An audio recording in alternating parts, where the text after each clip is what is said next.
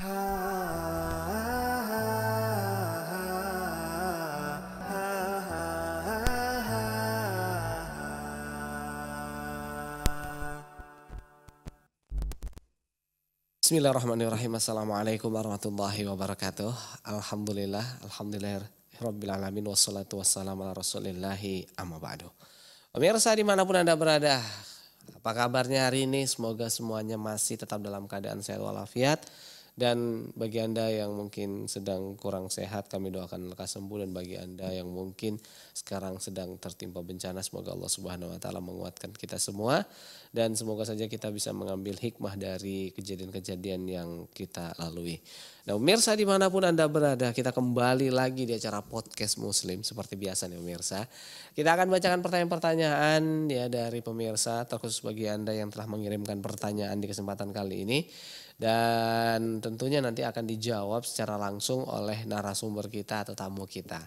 Adapun ya sosok yang akan menjadi tamu kita di kesempatan kali ini seperti biasa langsung aja kita akan sapa ada Ustadz Muslim Maslan MA. Ya, assalamualaikum Ustadz. Waalaikumsalam warahmatullahi wabarakatuh. Masya Allah masih sehat nih ya. Alhamdulillah, selamat sehat. Alhamdulillah. Tapi Ustadz ini sudah ada beberapa pertanyaan yang masuk. Nanti akan kita jawab satu persatu. Iya. Hari ini pertanyaannya berkaitan dengan masalah sholat nih Pak Ustadz. Masya Allah ya. Wah ini apa ya aktivitas sehari-hari. Masya Allah. Ini minimal kita lima kali sekali, eh, li- dalam satu hari lima kali kita melaksanakan sholat nih Ustaz. Yang wajib ya. Yang wajib dan makanya ini harus penting harus kita pahami nih Ustaz. Iya. Nah jadi eh, sebelum kita baca pertanyaannya Ustaz, seperti biasalah kita ajak dulu pemirsa. Boleh, silakan. Baik pemirsa di mana pun anda berada, bagi anda di hari ini yang mau bertanya dan bergabung, ya nggak usah sungkan-sungkan, nggak usah segan-segan, langsung aja di 0617944282 atau juga anda bisa kirimkan pertanyaan anda bisa melalui pesan WhatsApp di 085277992202 dan kami tak bosan-bosannya untuk senantiasa mengajak untuk seluruh pemirsa dan pendengar di mana pun anda berada untuk anda yang ingin ya mendonasikan hartanya ya atau menginfakkan sedikit hartanya di jalan dakwah melalui salam televisi dan radio Arisala FM. Silakan kirimkan donasi Anda ya di nomor rekening yang sering tertera di layar kaca Anda. Sebelah mana di base-nya? Sebelah sini ya, sebelah sini ya. Ah, di sudut-sudut sini di base-nya itu. Nggak jauh-jauh dia. Taib. Nah, pemirsa di mana pun Anda berada, langsung aja kita akan bacakan pertanyaan pertama kita. Oke, Ustaz. Iya. Seperti yang saya katakan tadi saat ini berkaitan dengan eh, sholat yaitu dengan kekhusyuan. Ya, biasalah kalau kita sholat kadang ada aja gangguan gitu kan. Iya. Terkadang pun udah gak ada gangguan pikiran kita melayang entah mikirin apa entah mikirin utang ya. kalau yang lajang mungkin mikiri aduh majang ini anak gadis tetangga kok seger ditengok gitu dan lain sebagainya nih Pak Ustadz. Saya akan bacakan Ustadz. Assalamualaikum warahmatullahi wabarakatuh Ustadz. Waalaikumsalam warahmatullahi wabarakatuh. Ustadz saya ada dua pertanyaan nih Ustadz yang ingin saya tanyakan. Tapi kita satu dulu nih Ustadz ya. Kita Iya. bahas satu-satu. Nah pertama bagaimana cara kita mencapai derajat khusyuk nih Pak Ustadz. Ya khusyuk dalam sholat. Karena setiap kali saya sholat itu selalu aja terpikiran sesuatu nih Pak Ustadz. Apakah saya perlu menghafal arti bacaan sholat? Mohon penjelasannya nih Ustadz. Misalkan ketika kita membaca alamin yang kita pikirkan itu adalah oh segala puji bagi Allah Tuhan semesta alam gitu. Jadi harus paham semua artinya Ustaz. Kalau yang hafal kita kul Allah itu artinya itu aja dibaca gitu Ustaz. Ya, bismillahirrahmanirrahim. Alhamdulillah rabbil alamin wassalatu wassalamu ala asyrafil anbiya wal mursalin wa ala alihi wa ashabihi ajmain amma ba'd. Mengenai tentang khusyuk dalam salat, ini adalah salah satu yang matlub atau yang ditekankan agar kemudian bisa dilakukan oleh setiap kali musallin, orang-orang yang salat. Maka kata Allah Subhanahu wa taala, "Qad aflahal mu'minuna alladzina hum fi salatihim khashi'un."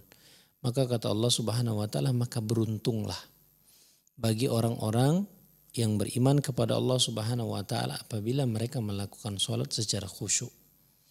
Berarti menunjukkan setiap orang yang tidak khusyuk ketika sholat maka dia kurang beruntung. Dan orang-orang yang sholat, orang-orang yang beriman yang sholat dan dalam keadaan khusyuk maka dia akan mencapai pada derajat orang-orang yang qad aflaha maka mereka telah beruntung. Nah, keberuntungan di sini adalah karena pekerjaan ibadah solat dalam keadaan khusyuk. Nah, maka kemudian kita harus mengetahui apa yang dimaksud dengan khusyuk sehingga kemudian kita bisa melakukannya. Kadang-kadang mohon maaf eh, ketika kita sedang sholat Allahu Akbar masih teringat eh, pekerjaan yang masih tertunda. Ibu-ibu yang goreng pisangnya masih ingat goreng pisangnya. Alamak yang komporku udah aku matiin belum Nah, jadi ya. kompornya dimatikan atau belum kan? Nah, apakah itu membatalkan sholat? Tidak. Ya, ketika kita teringat eh, kompor, kemudian cucian, pakaian yang dijemur, kemudian aktivitas yang tadi yang dilakukan belum kelar dan sebagainya, maka apakah itu membatalkan puasa? Maka tidak. Akan tetapi yakinlah bahwasanya itu bentuk dari wasawisu syaitan. Adalah bentuk dari gangguan setan yang kemudian memalingkan seorang hamba ketika beribadah kepada Allah Subhanahu wa taala agar fokusnya kepada satu duniawi. Sementara dikatakan eh, ketika kita sholat ini adalah ketika kita membangun komunikasi bersama dengan Allah. Apa dalilnya? Maka dikatakan kata Rasulullah Sallallahu Alaihi Wasallam, ketika kita mengatakan Alhamdulillahi Rabbil Alamin, ya kan? Ketika kita membaca Al-Fatihah itu, maka Allah Subhanahu Wa Taala mengatakan Hamidani Abdi. Maka kata Allah Subhanahu Wa Taala bahwasanya hambaku ini lagi memujiku. Jadi setiap ayat itu maka Allah menjawabnya. Bayangkan bagaimana kemudian makanya kemudian kita disunnahkan untuk sepenggal ayat sepenggal ayat berhenti sejenak. Adanya jedah. Kenapa? Karena Allah Subhanahu wa taala menjawab dari apa yang kita baca. Jadi ketika kita eh, bertakbir kemudian membaca Al-Fatihah maka dituntut untuk senantiasa khusyuk. Ini adalah eh, satu bentuk perintah. Nah khusyuk itu dikatakan dalam secara bahasa itu dikatakan khusyuk itu adalah khosyia. Khosyia itu adalah takut. Takut akan apa? Akan kebesaran Allah subhanahu wa ta'ala. Bagaimana kemudian kita kecilnya di hadapan Allah dan kemudian kita penuh dengan bergelimang dengan maksiat kepada Allah subhanahu wa ta'ala. Jadi ketakutan kita ini bukan kepada yang selain Allah Subhanahu wa taala. Maka dikatakan ini secara bahasa. Kemudian dikatakan para ulama yang dimaksud dengan khusyuk juga adalah at-tertib. Secara tertib ketika pertama dengan takbir, kemudian ruku, sujud. Enggak bisa ketika pertama Allahu Akbar sujud dulu. Boleh? Enggak boleh. Jadi tertibnya ini, tertib dari satu step by stepnya ini dikatakan adalah itu juga didefinisikan sebagai khusyuk. Adanya terpenuhi eh, tertibnya. Maka dikatakan eh, secara istilah dikatakan khusyuk itu adalah kita takut kepada Allah dalam beribadah sholat kemudian kita konsentrasi. Nah ini yang yang harus dibutuhkan konsentrasi. Jadi sholat itu bagaimana agar supaya khusyuk adalah kita harus benar harus mengetahui artinya. Itu adalah bagi kita yang ingin uh, khusyuk, kalaupun tidak semuanya maka cobalah berusaha untuk dipahami sebagiannya. Kalau bisa semua itu alhamdulillah ketika mengatakan Allahu Akbar kita meresapi mananya bahwasanya Allah itu maha agung, maha besar. Kenapa? Dalilnya dikatakan dalam hadis Rasulullah Sallallahu Alaihi Wasallam dikatakan kata Rasulullah Sallallahu Alaihi Wasallam ketika seorang hamba yang sedang bermunajat melakukan ibadah sholat kata Rasulullah Sallallahu Alaihi Wasallam. Bayangkan kata Rasulullah apabila kita sholat kemudian kita konsentrasi tidak menoleh ke kanan dan ke kiri maka dikatakan maka pada saat itu Allah juga menghadapkan wajahnya ke ke muka kita. Ketika kita menoleh saja ke kiri, maka dikatakan maka Allah akan meninggalkan kita. Nah, jadi menunjukkan bagaimana konsentrasi penuh itu diharapkan dari kita agar apa? Agar konsentrasi jangan ada ya Allah ada cicak, hmm. ya Allah ada sesuatu di sana itu ada warna apa gitu enggak. Jadi bagaimana diharapkan seorang hamba itu kemudian ketika menghadap Allah Subhanahu wa taala fokus. Jangan kemudian logikanya kan Mas Leman, eh, ada orang yang besar, presiden misalnya, kita fokusnya luar biasa, ya kan? Semua ditata dengan rapinya. Kalau dia berbicara kita memang benar-benar dengar. Nggak ada tuh orang yang berbicara dengan presiden itu sambil main HP nggak ada. Nah, seperti itu aja manusia dikatakan kalau kita lagi ngomong sama orang besar, kemudian kita sambil main HP atau mengerjakan sesuatu, maka kita ditinggalkan ya. Iya. Atau mungkin yang berani kayak gitu ngomong sama presiden main HP, anaknya mungkin. Iya. Oke, Sat. Itu berkaitan dengan masalah kekhusuan. Iya. Apakah eh, untuk mencapai derajat khusyuk itu ketika sholat itu kita harus merem, Sat? Karena kan kadang supaya konsentrasinya apa namanya ya, fokus terus. Iya. Wah merem aja dah lebih aman. Kalau melek itu nanti nampak ada kucing lewat kah atau ada sajadah kita bergambar-gambar atau bagaimana. Iya. Alangkah baiknya merem aja dah. Eh, apakah itu betul, Sat? Ya kalau mengenai tentang eh, memejamkan mata di sini hukumnya adalah makruh. Bukan justru itu yang lebih baik bukan. Tapi justru ini adalah makruh itu dibenci eh, dimakruhkan oleh para ulama. Karena pada asalnya berdasarkan kata Rasulullah itu kan sallu kama muni usolli. Maka sholatlah kalian sebagaimana aku sholat. Maka kata Rasulullah bagi orang-orang yang sedang sholat itu ada eh, pandangan mata ke arah mana. Itu sudah dijelaskan dalam hadis-hadis Rasulullah Sallallahu Alaihi Wasallam. Jadi pandangan itu adalah ke tempat sujud. Secara umum fokusnya adalah ke tempat sujud. Di situ aja? Iya. Nggak ada boleh celingak celinguk. Iya. Yang ke bawah sedikit, ke atas, kadang gitu. Kanan enggak lah, jarang kok ke kanan. Iya. Tapi biasanya nunduk ke bawah, ke depan gitu. Ya, eh, bo, kalau secara ditanya apakah kemudian batal bagi orang yang lihat ke depan, yang ke samping, ke kanan, ke kiri, apakah batal? Maka dikatakan tidak. Batalnya tidak, karena Rasulullah Shallallahu Alaihi Wasallam pernah juga melihat Oh, ketika sholat, ketika Umar bin Khattab pasukan yang kemudian diutus untuk berjihad dan pulang, maka dikatakan Rasulullah pada saat itu menoleh karena ada pasukan perang yang pulang. Apa e, buktinya sehingga kemudian tahu para sahabat itu Rasulullah menoleh. Karena kan Rasulullah dikatakan memiliki janggut. Ketika menoleh itu kan kelihatan. hmm. Karena posisi makmum itu senantiasa mengawasi imam. Gerakan apa yang akan dilakukan. Jadi eh, itulah para sahabat bagaimana kemudian mengawasi imam. Eh, sehingga pernah satu kejadian dikatakan misalnya Rasulullah itu pada saat itu membuang sendalnya karena ada dapat najis. Sahabat yang lain pun ngambil sendalnya dibuang. Jadi menunjukkan fokus mereka itu kepada imam ketika menjadi seorang makmum. Kenapa? Karena gerakan imam itu dikatakan al-imam e, liutama bihi. Imam itu dijadikan adalah untuk diikuti apa gerakan yang dilakukan. Maka harus fokus e, melihat imam. Jadi sehingga kemudian ketika Rasulullah menoleh ke arah depan karena ada pasukan yang baru datang, maka dalam riwayat dikatakan Rasulullah pernah menoleh. Menunjukkan menoleh itu tidak membatalkan. Biarpun dikatakan yang secara khusyuk dikatakan adalah fokus kepada tempat sujud. Fokus pada tempat sujud. Ya. Tapi Ustaz, eh, menarik nih kalau kita terus bahas berkaitan dengan masalah khusus sholat nih Pak Ustaz. Tapi kita harus rehat dulu nih Ustaz. Boleh. Tapi pemirsa di mana pun Anda berada jangan ke mana-mana karena setelah yang berikut ini kami akan segera kembali lagi tetap bersama kami di Podcast Muslim.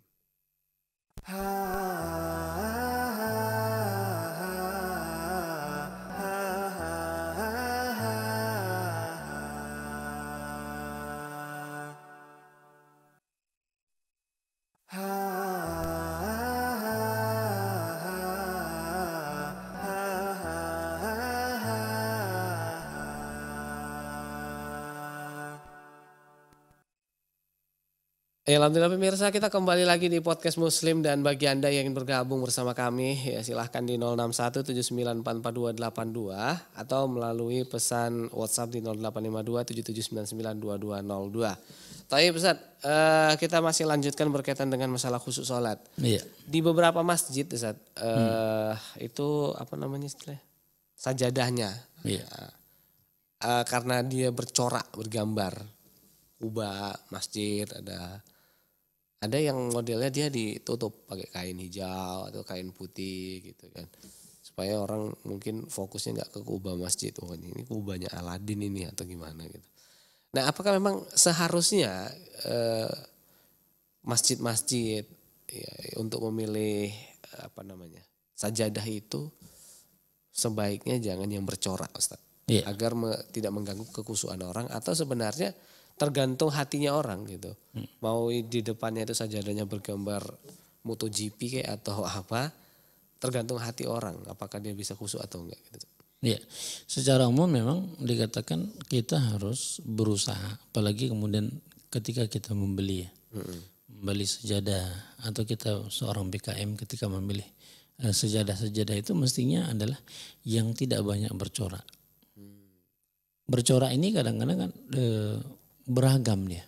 Ya. Ada yang eh, terlalu mencolok ya, dan ada bacaan. Sehingga ketika yang sholat itu berusaha untuk membaca dia ini eh, made in Cina misalnya. Jadi dia membaca setiap itu adalah membaca. Atau dikatakan kadang-kadang adalah corak itu yang di, dilihat. Karena kan eh, secara logika apalagi kemudian eh, kita itu punya eh, otak motorik ya yang senantiasa bekerja mencari ini warna apa ya? Kenapa ini satu kurang ya? Yang kanan kayaknya kurang pas dan sebagainya. Jadi kita fokusnya teralihkan. Jadi bagusnya mestinya adalah eh, ketika ditanya mana yang lebih baik, apakah boleh? Maka secara hukum boleh. Bukan berarti kemudian kita eh, nggak boleh nih haram dan eh, makruh dan sebagainya. Akan tetapi hendaklah kemudian dihindari eh, yang mencolok banyak terlalu banyak motif. Kalau ada yang polos maka itu lebih utama. Karena kita ini akan menghadap Allah Subhanahu wa taala. Jadi kalau bisa jangan eh, fokusnya dikatakan adalah kepada gambar, kepada warna dan sebagainya. Karena kata Rasulullah SAW dalam hadisnya dikatakan adalah idza kumta fis salati kata Rasulullah kalau kalian dalam salat maka eh, fasalli salata muwadda'in. Maka ketika kita sholat itu hendaklah kita sholat dengan benar-benar seolah-olah kita sholat yang terakhir kali perpisahan antara kehidupan kita di dunia dengan masuk ke alam barzakh. Jadi bagaimana contoh lah misalnya. Kalau kita dikatakan oleh seseorang hari ini adalah hari kesempatanmu untuk hidup terakhir. Ini mau dieksekusi mati. Kemudian dibolehkan bagi kalian hanya melakukan sholat dua rakaat. Sholat yang dua rakaat itu apa kira-kira ya Allah? Eh, masih mikiri warna sejadah? Enggak. Kita mikir ya Allah bagaimana aku akan menghadap Allah subhanahu wa ta'ala. Atas apa? Atas dosa yang banyak kita lakukan. Bagaimana kita mohon ampun pada saat itu dengan eh, tidak meninggalkan sisa waktu sedikit pun. Maka itulah tuntutan Rasulullah dikatakan kalau mau sholat khusyuk itu bayangkan bahwasanya kita dalam ingin sholat ini adalah sholat yang terakhir. Sholat muadda. Sholat, sholat muadda ini adalah sholat yang terakhir kali kalian ingin meninggalkan dunia ini. Jadi itu harapannya setiap kali sholat. Ini kadang-kadang kan kita enggak nih Muslim.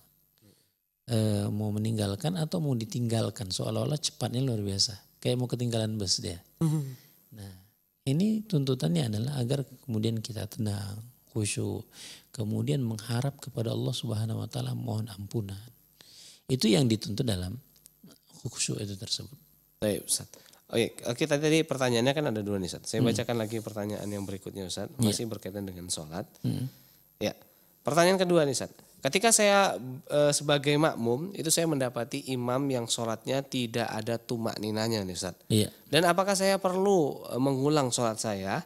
Karena rasanya ketika saya menjadi makmum itu bacaan saya itu belum sempurna. Eh imamnya udah ruku nih Ustaz. Maupun sujud duluan dia. Mohon penjelasannya Ustaz. Jazakallah khair. Iya. Kita mencoba untuk ruku apa tumak nina baca pelan-pelan. Menghayati bacaan kita. Weh tiba-tiba imamnya Allahu Akbar. Al-Fatihah pun belum siapnya kita Ustaz.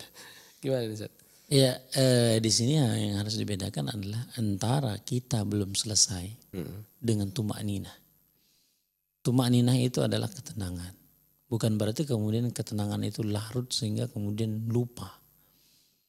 Atau dengan rentang waktu yang cukup panjang. Bukan. Jadi kita misalnya Bismillah. Kita sambil menghayati misalnya kan. Imam udah Allahu Akbar misalnya. Karena lamanya eh, jedah yang kita buat. Karena kita menghayati maknanya. Sehingga ketika kita makmum, imam sudah selesai. Dari bacaannya. Kemudian dia melakukan, apakah itu yang dimaksud tumak nina? Bukan. Tumak nina itu adalah, dikatakan adalah ketenangan apabila kita melakukan satu gerakan ke gerakan lain adalah sudah sempurnanya gerakan tersebut. Itu yang dimaksud dengan tumak nina, tenang. Jadi kalau kita ruku, ruku dikatakan apabila kita sudah e, menyempurnakan rukunya, sudah e, apa tulang-tulang itu sudah benar-benar pada posisinya. Kemudian setelah itu baru bangkit.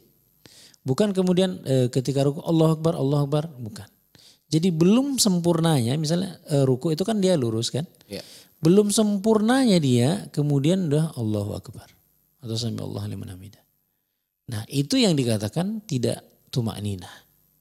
Makanya ada sholat yang super ekspres ya yang kita lihat saksikan di eh, saudara-saudara kita di Indonesia, apakah itu mendapatkan tumak ninah? Tidak. Tumak ninah itu bukan ketenangan di hati saja. Tapi adalah diwujudkan dalam bentuk praktek gerakan dari satu gerakan ke gerakan lain.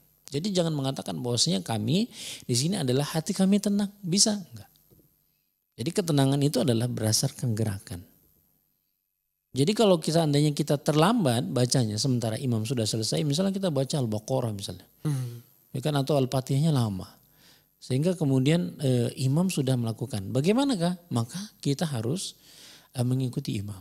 Walaupun Al-Fatihah kita belum Walaupun Al-Fatihah kita belum selesai. Karena kata Rasulullah dalam sebuah hadisnya dikatakan kiraat al-imam bahwa kiraat al-ma'mum. Bacaan imam itu adalah bacaan ma'mum.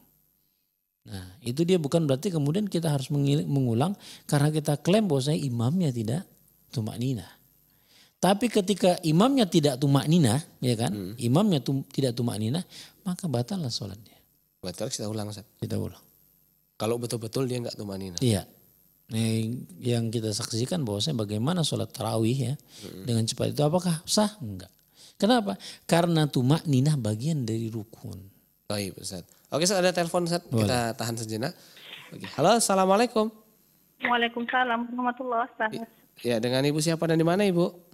Khadijah dari Tebing Tinggi, Ustaz. Masya Allah. Silahkan Ibu.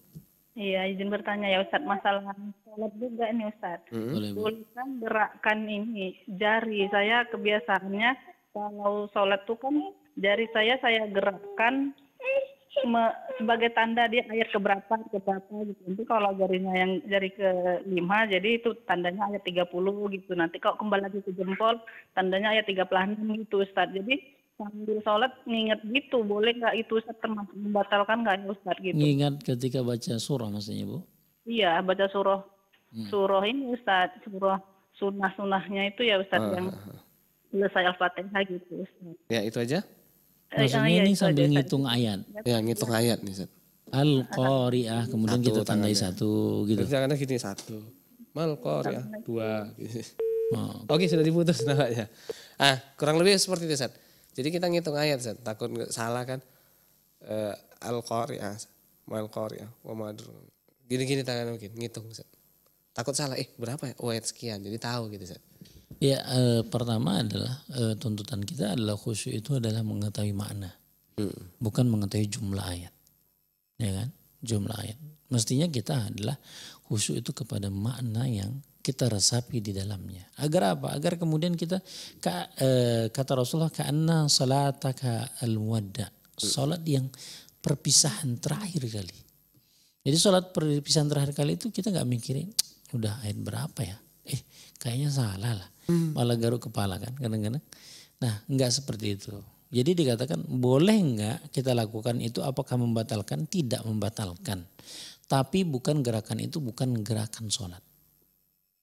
Gerakan yang kita lakukan kita menghitung satu, dua atau satu, dua, tiga, empat, lima, enam. Apakah itu gerakan dari masuk sholat? Tidak. Apakah dianjurkan? Tidak. Ya, karena ini bukan bagian dari yang dianjurkan oleh Rasulullah Sallallahu Alaihi Wasallam. Karena kata Rasulullah, masalah ibadah sholat ini tidak ada bab ijtihad. Hmm. Karena apa? Karena kata Rasulullah, "Sallu kama ra'aitumuni ana usalli." Maka kata Rasulullah, maka sholatlah kalian sebagaimana kalian melihat aku sholat. Dalam artian sholat yang kita lakukan itu harus berdasarkan apa yang dilakukan oleh Rasulullah. Boleh nggak berijtihad? Kita tambah, kita berdasarkan kayaknya enak lah kalau kita dihitung. Nah, apakah boleh? Maka dikatakan secara hukum kalau ditanya ini bagian e, menambahkan kekhusyukan maka tidak boleh. Kita katakan ikhlas karena Allah tidak boleh. Kenapa? Karena itu bukan bagian dari sholat. Bagian dari sholat itu harus berdasarkan dalil. Ketika tidak, maka tidak. Ada orang yang misalnya kayaknya Ustaz tanganku lebih enak di sini lah misalnya sholat. Hmm. Gimana? Aku tambah khusus Ustaz. Boleh enggak? Maka e, karena dia e, menyelisih daripada apa yang dilakukan Rasulullah. Apakah ketika melakukan itu batal? Tidak. Kan tapi kita katakan itu adalah gerakan di luar dari sholat. Sama Rasulullah gitu ketika mendapatkan sendalnya bernajis maka dia mencampakkan ke kiri. Apakah mencampakkannya itu bagian dari sholat? Tidak. Maka ketika para sahabat mengikuti, maka kemudian kata Rasulullah, ngapain kalian mencampakkan sandal? Karena imam itu dijadikan untuk dicontoh ya Rasulullah. Kata Rasulullah, ini bukan bagian dari sholat. Karena aku mendapatkan sandalku kotor. Kalau sama contoh misal imam, uh, sholat, kemudian dia garuk lehernya misalnya. Apakah makmum harus mencontoh? Enggak. Karena dikatakan ini bukan bagian dari sholat. Allah Ta'ala Baik, oke okay, Ustaz. Nah Ustaz, uh, kita rehat dulu Ustaz, insya Allah kita akan lanjutkan kembali. Nah pemirsa di mana pun Anda berada jangan ke mana-mana. Karena setelah jeda berikut ini kami akan segera kembali lagi dan kami masih mengajak. Bagi Anda yang ingin bergabung nanti bisa hubungi kami di 0617944282. Jangan ke mana-mana, tetap bersama kami di Podcast Muslim. Ah.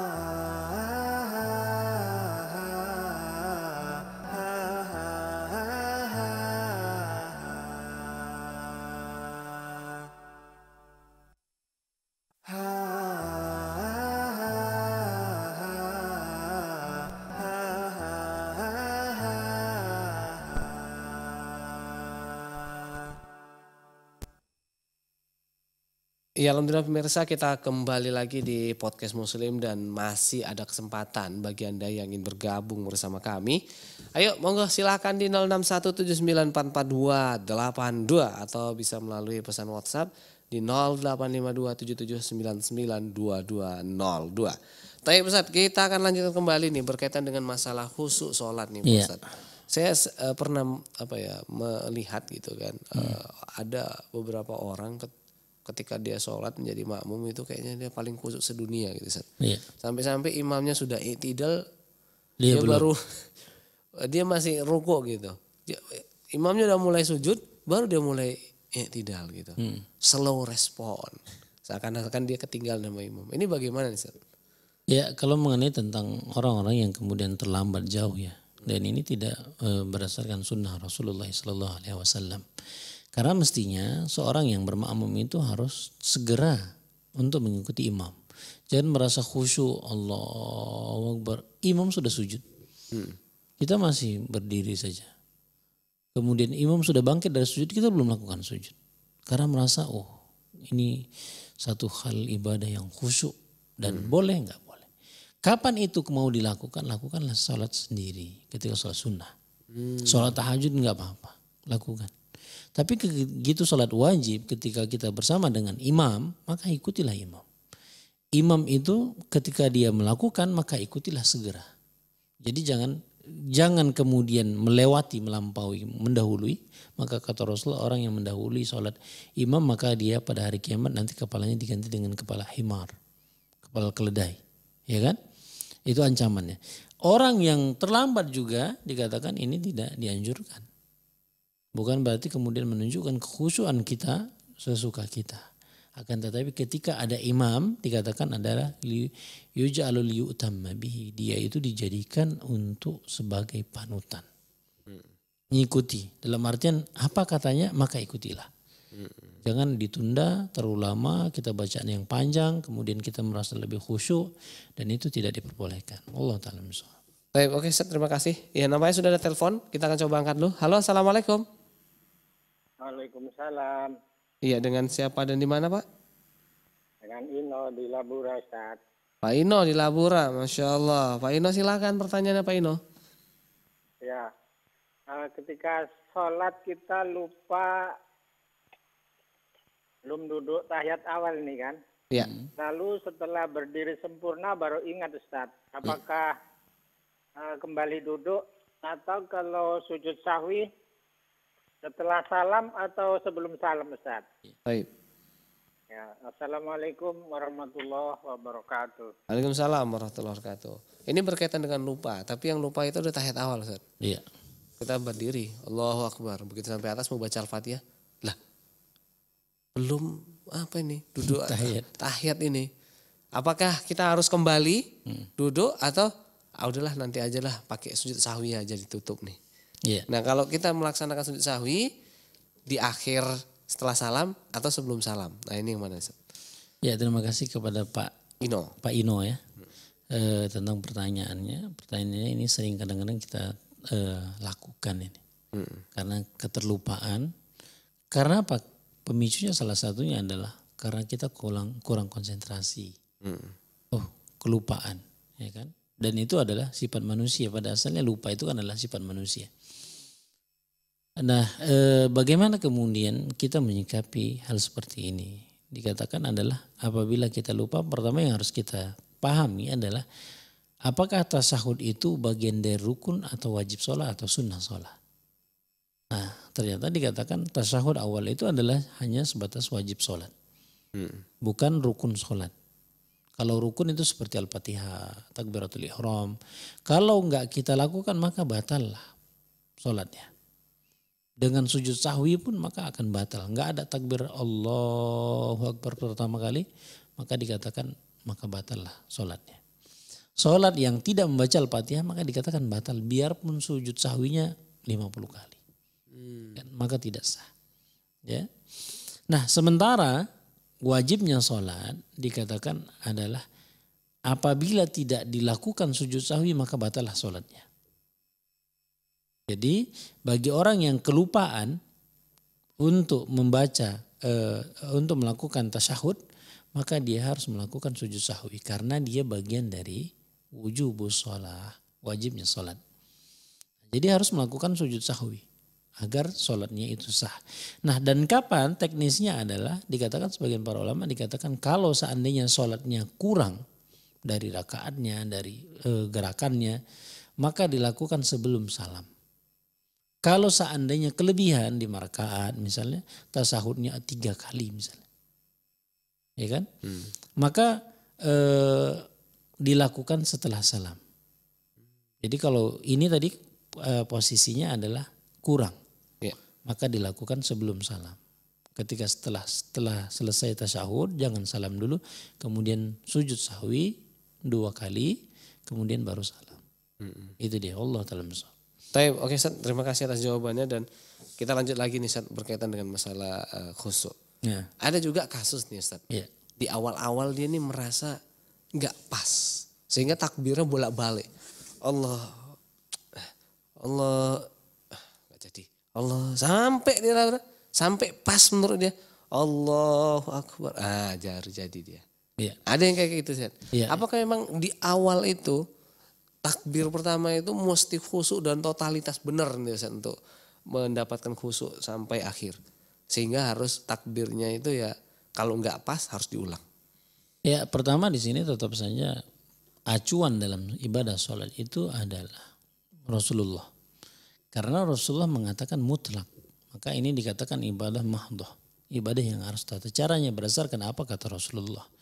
Maka kata Rasulullah itu kan sallu kama usolli. Maka sholatlah kalian sebagaimana aku sholat. Kekhusyuan itu juga sudah dicontohkan Rasulullah. Nah takbir itu juga sudah dicontohkan oleh Rasulullah. Ini kadang-kadang Allahu Akbar. Kita meresapi makna saja. Ini kadang-kadang sebagian kaum muslimin dan ini sering kali kita dapatkan di masjid itu untuk menyatunya antara detak jantung dengan takbir. Apakah ini sesuai dengan sunnah? Tidak. Maka dikatakan Allahu Akbar Rasulullah. Adakah Rasulullah mengulang, mengulang, mengulang saja? Maka dikatakan bisa jadi yang mengulang terus ini dikatakan adalah bentuk dari wasawisus syaitan. Adalah bentuk dari godaan setan. Itu yang pertama. Yang kedua adalah ini tidak berdasarkan apa yang dicontohkan oleh Rasulullah maka hendaklah kemudian kita kembali. Kenapa? Jangan kemudian kita merasa ya Allah aku lebih sempurna. Enggak. Dan kita ini kadang-kadang berlebihan pada takbir. Hmm. Sementara gerakan yang lain nggak kita perhatikan. Nggak ada tuh orang yang kemudian e, tasahudnya balik lagi ulang. Hmm. Nggak ada. Salamnya kayaknya nggak pas tadi gerakan yang ulang. Maka dikatakan e, kita itu berusaha untuk khusyuk, paham maknanya. Kemudian jangan dikatakan mukallaf terlalu membebani diri yang tidak dituntut oleh syariat. Allah taala Baik Ustaz, masih berkaitan dengan masalah khusus sholat nih Pak Ustaz. Ya. Kalau kita tidur kadang kan saat mimpi buruk, terbangun, wah ini nggak bener nih. Jadi sunahnya kan e, menudah tiga kali ke kiri. Iya. Nah kalau kita dalam sholat nih Ustaz, kita merasa, aduh ini setan ini ganggu aja nih. Boleh kita menudah? Iya boleh. Maka itu salah satu sunnah yang dikatakan apabila kita e, merasa berusaha untuk fokus misalnya. Mm-hmm. Tapi enggak juga. Ya kan ada gangguan setan wasawis. Terus diganggu setannya kan. Maka kemudian kita meludah ke kiri. Jangan meludah dalam artian di sini adalah hanya sebatas syarat. Mm-hmm. Bukan kemudian kita kayaknya setannya banyak lah ini, besar lah ini. Mm-hmm. Ludahnya pun banyak. Mm-hmm. Kita kumpulkan kemudian kita ludahkan dengan banyak misalnya. Pas di sebelah kita ada orang yeah. kena misalnya atau orang merasa jijik dengan ludah kita atau adanya dahak misalnya. Hmm. Dan itu tidak disunahkan. Sundahkannya adalah hanya eh, meludah sedikit saja. Hmm. Bentuk isyarat kita itu agar kemudian setannya supaya tidak mengganggu. Allah taala Nah kemudian nih Ustaz, uh, was-was yang terakhir nih Pak Ustaz adalah ya. ketika kita sholat ternyata orang yang di sebelah kita mohon maafnya mungkin belum gosok gigi misalnya. Ya agak bawa peti mulutnya gitu. Kadang kan ini mengganggu uh, kekusukan kita. Udah kusuk gitu. Begitu imam bilang amin, dia bilang amin. Aromanya itu semerbak ini. Walah semur jengkol nih kawan ini. Oh. Nah ini kadang kan kayak gitu nih Seth. Ya makanya secara umum dikatakan kata hadis Rasulullah orang-orang yang makan basal itu bawang ya. Hmm. Bawang. Maka tidak disunnahkan untuk mendatangi musola atau masjid Ya kan? Kenapa? Karena dia akan menularkan aroma yang tidak bau, yang yang tidak sedap. Uh, sedap. Hmm.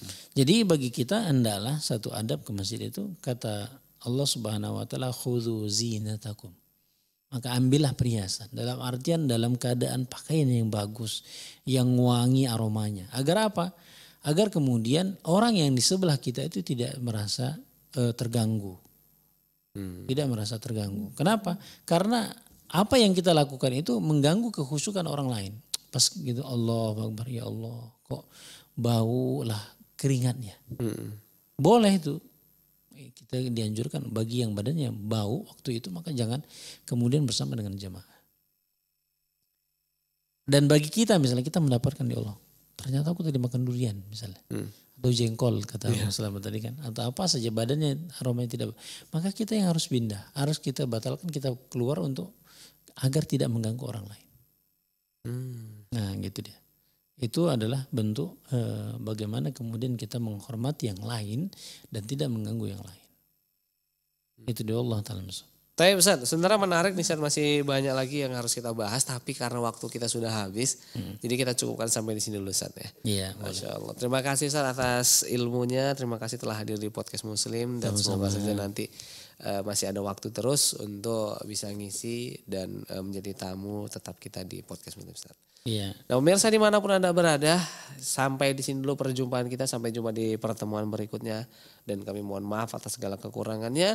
Terima kasih atas segala perhatiannya dan kami tutup dengan subhanaka Allahumma bihamdika asyhadu alla ilaha illa anta astaghfiruka wa Assalamualaikum warahmatullahi wabarakatuh.